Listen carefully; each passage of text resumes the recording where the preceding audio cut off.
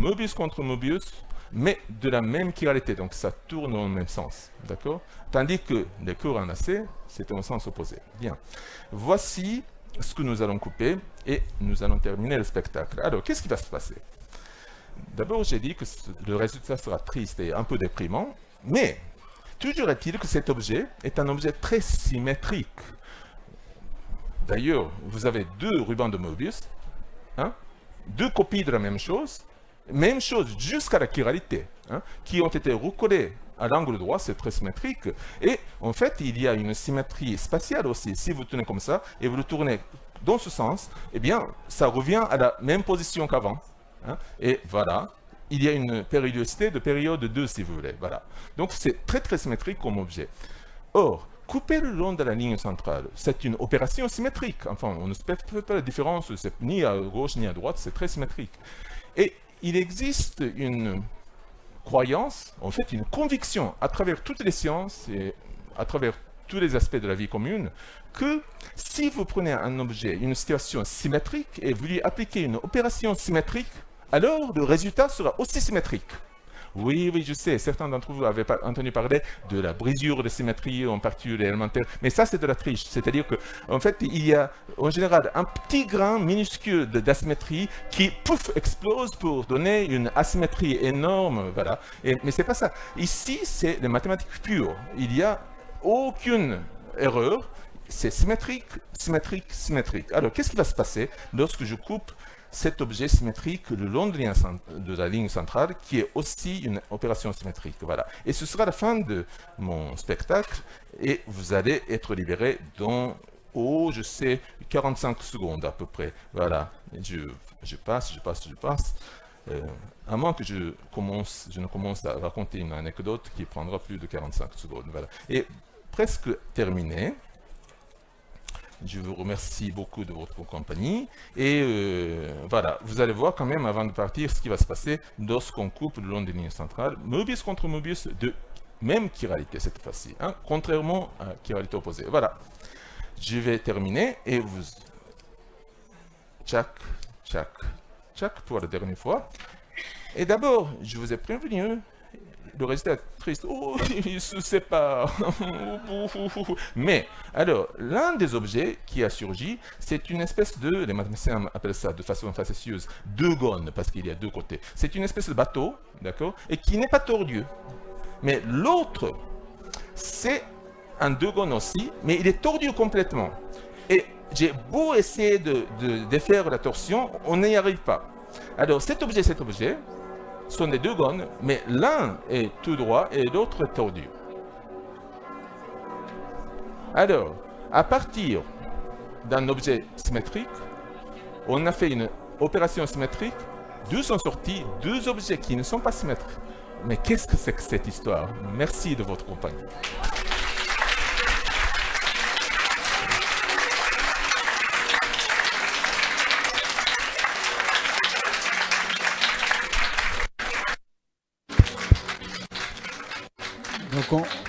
on, a, on a le temps pour des questions, mais on va peut-être attendre que terminer. Mais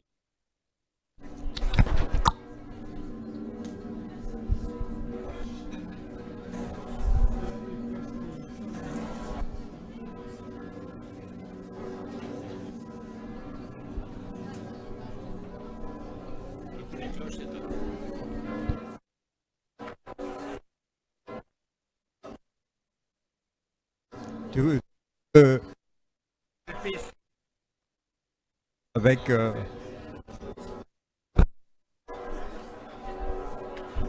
Normal, ils sont très très.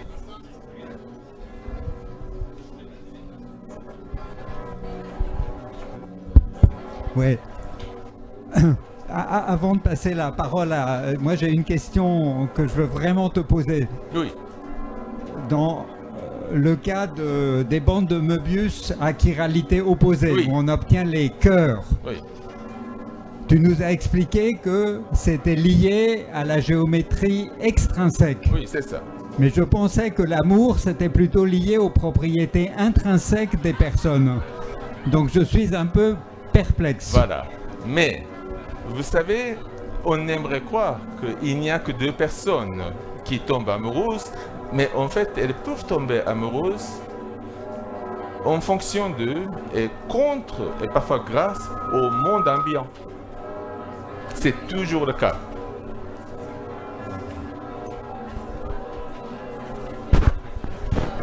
Professor Tokeda, um, merci beaucoup. Merci. Uh, we would like to say many, many thanks to you for all your videos, especially on the kendama. My Ah. boy has one. Oh, I see. So it's a fantastic video, as well as on the num file. He's very fond of it. And our COVID confinement was wonderful with all those videos. And he still continues to watch the bathtub experiment and That's every, many more. Merci beaucoup. please, please share, right?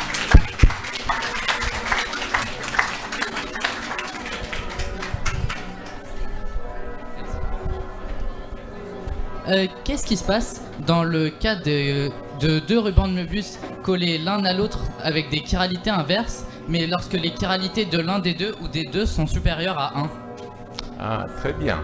Alors, la question, c'est qu'est-ce qui se passe lorsqu'on colle deux rubans de Möbius? D'accord? Mais ces rubans de Möbius ne sont pas chacun tordus une seule fois, mais plusieurs fois. D'accord ils, peuvent être tournés plusieurs fois de la même façon, en façon opposée. On peut explorer ces choses-là. D'accord C'était ça la question. D'abord, une magnifique question. Et ensuite, lorsque quelqu'un d'intelligent et imaginatif comme vous me posez cette, ce genre de questions, ma réponse est que vous avez autant d'accès à la nature que moi. Non mais justement, justement, les sciences, les mathématiques, ce n'est pas en fait un temple où on garde des secrets. Tout est ouvert. Si vous le faites, vous allez découvrir quelque chose. Et c'est vrai, il se trouve, en l'occurrence, que j'ai déjà essayé, je sais ce qui se passe. Mais il n'y a pas beaucoup de mathématiciens professionnels qui savent ce qui se passe en fait hein, au monde. Et vous allez découvrir, et petit à petit, lorsque vous essayez des choses de façon imaginative, avec beaucoup de patience, et aussi systématiser ce que vous trouvez, apprenez à chaque fois, ah, c'est ça qui se passe, maintenant on va essayer autre chose, voilà, vous construisez, eh bien, assez bientôt, vous allez tomber sur des choses que personne dans l'histoire de l'humanité n'avait vues. Et c'est ça la recherche. Vous avez autant d'accès à la nature que moi. Essayez et vous allez trouver.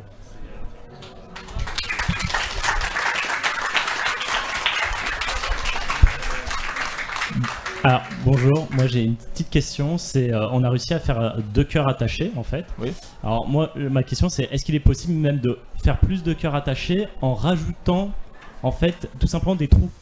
Là pour le moment on a fait deux anneaux euh, imbriqués l'un à l'autre, donc si on augmente le nombre d'anneaux imbriqués l'un à l'autre, est-ce qu'il serait pas possible de faire plus de cœurs attachés à l'un à l'autre Oui, alors c'est euh, la question peut être prise de plusieurs façons différentes, mais j'aimerais un peu tordre cette question. C'est-à-dire que si on veut avoir un résultat donné, qu'est-ce qu'il faut faire avant?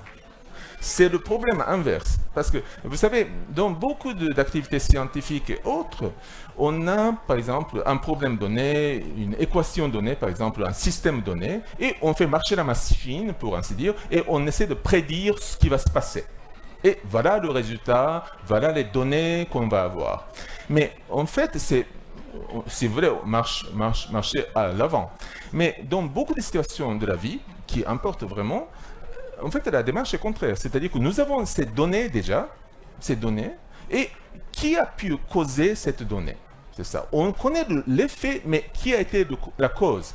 C'est ce qu'on appelle le problème inverse. Et ici, ce que vous demandez, un peu généralisé, c'est que si on veut avoir une telle configuration, bon, c'est bien, les cœurs enlacés comme ça, mais si on veut avoir, par exemple, trois cœurs enlacés, quatre cœurs enlacés, et ainsi de suite, mais enlacés de façon différente, des interprétations romantiques s'imposent aussi. Mais euh, qu'est-ce qu'il faut faire? C'est le problème inverse. Et si vous songez, en fait, beaucoup de situations euh, les plus importantes dans la vie sont des problèmes inverses. hein. Il faut revenir en arrière. Là, euh, je ne vais pas vous dire tout de suite qu'est-ce qu'on peut faire. Enfin, essayez vous-même. Je vais vous donner quelques indications. Si vous. Maintenant, jusqu'ici, on a reconnu deux rubans de Möbius de chiralité même, chiralité opposée, mais on peut bien sûr reconnaître 3, 4, 5. Mais aussi, on peut reconnaître d'abord ces deux, ensuite un autre, et recoller ces deux bouts, et ainsi de suite. On peut on fait faire, ce que les mathématiciens appellent tout un graphe de, de, Mobius, qui sont recollés avec des torsions différentes. Et voilà, la question c'est d'explorer tout l'espace de toutes ces possibilités et qu'est-ce qu'on peut sortir? Est-ce qu'on aura une variété infinie? Est-ce qu'on aura une classification infinie? Et ainsi de suite. Ça, c'est vraiment comment dirais-je, un domaine de recherche qui vaut plus qu'une thèse de doctorat. Voilà. On peut, non, mais c'est vrai en plus, parce que j'ai commencé à le faire avec quelques jeunes gens, mais j'ai laissé tomber au bout d'un certain temps. Voilà, vous pouvez songer à faire ce genre de choses. Mais déjà, essayez peut-être en recollant plusieurs rubans de mus et couper. Ça, ça vous donnera quelques surprises déjà. Merci pour votre spectacle. Moi aussi, j'ai vu toutes vos vidéos sur Internet et je conseille aux gens d'aller les voir. Euh, vous parliez d'amour? Euh, que pensez-vous? Non, c'est Monsieur André qui a commencé à parler de l'amour. D'accord. que pensez-vous de la phrase suivante? Et si l'amour, c'était une proximité géométrique dans un espace à 4 dimensions, 5 dimensions? Oh là là là là Non, mais euh, vous êtes un spécialiste de mathématiques, mais, mais est-ce que vous croyez à, l'existence de la quatrième dimension géométrique? Ah non, c'est pas une question de croire à l'existence d'une quatrième dimension. Est-ce que vous croyez à l'existence de deux dimensions, de trois dimensions? Euh, moi, je vis, moi, je vis dans un, dans, un espace plan. Ma tête est, euh, mais c'est d'ailleurs, bon, si on vit dans une grande ville, il n'y a pas de ciel parce que tout est gratte-ciel et puis on n'a que deux dimensions. Mais, mais, euh, justement, mais justement, est-ce qu'on croit à dimension 3 vous allez me dire oui, mais en fait, c'est quand même assez bizarre parce que tout ce que vous ressentez, euh, la façon dont vous collectionnez les informations autour de vous, autour de moi aussi, ce sont des signaux que reçoit, reçoit le cerveau. Des yeux, par exemple, c'est une projection sur les rétines, ça c'est deux, dimensions. Et quand je touche, ma foi, il n'y a presque pas de dimension. Et lorsque j'entends, ma foi, c'est une suite vraiment à une dimension de, de son. Hein, et donc, euh, l'odeur, c'est encore pire parce que ce sont des molécules qui rentrent dans vos oui. Bon, en fait, on n'a pas, si on échange, une expérience directe, disons, de dimension 3. Pourtant, nous sentons qu'il y, a, il y a ça parce que nous sommes tellement habitués à une certaine façon de d'évoluer dans cet espace. Si je marche un peu plus loin, je tombe, de, ainsi de suite. Eh bien, tout ça, quelque part, je suis persuadé, hein, mais c'est une reconstruction grâce au cerveau. Et quatre dimensions, est-ce que c'est moins réel que dimension 3 Je ne pense pas. Si on a une reconstruction très très claire de ce qui se passe en dimension 4, dimension n en général, eh bien, ça existe tout aussi bien. Et chez les mathématiciens, nous avons une conception extrêmement claire de euh, ce qui se passe en dimension supérieure. Je peux dire que si on coupe un tel objet de dimension 7 avec un tel objet de dimension 6 dans un espace de dimension 12, ça se croise par exemple le long d'une droite de dimension 1 et ainsi de suite. Et il est possible qu'un espace à 4 dimensions géométriques existe vraiment dans notre cerveau et il se passe beaucoup de choses, dimension, non, dimension 4.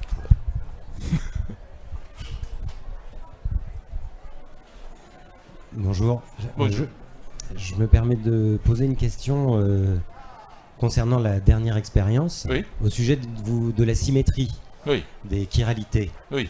Euh, je m'interrogeais parce que l'action de chiralité est symétrique, mm. mais la figure elle-même ne l'est pas.